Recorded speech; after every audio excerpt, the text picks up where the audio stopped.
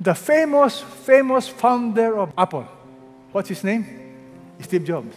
Do you know? He won't even allow his children to have tablets, to have gadgets. He won't allow his children.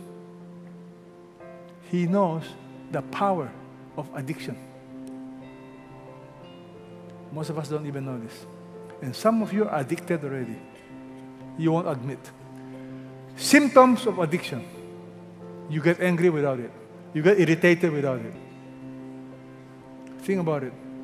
You need to do something if you want to be serious with the Lord. First thing in the morning, do not touch your cell phone. Spend time with the Lord.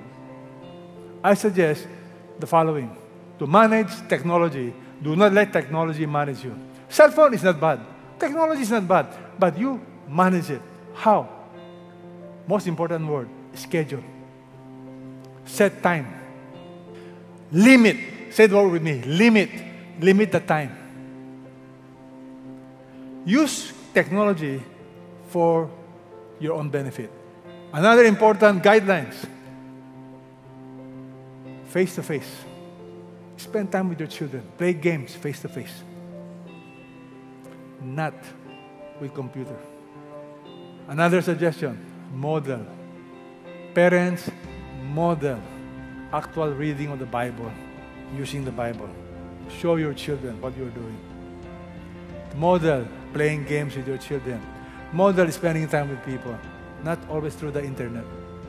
This is what's destroying a lot of people today. My prayer is this you will learn to manage technology, not allow technology to manage you.